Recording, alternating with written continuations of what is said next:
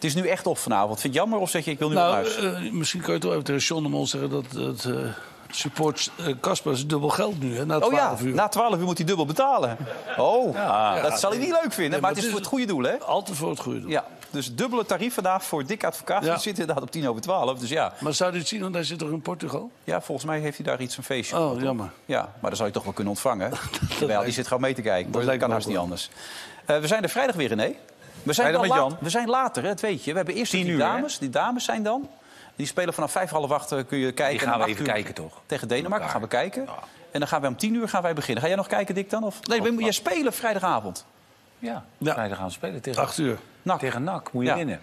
Nou, moet zeker. Drie puntjes. Drie Ja, punten, hè? drie puntjes. Makkelijk, hè?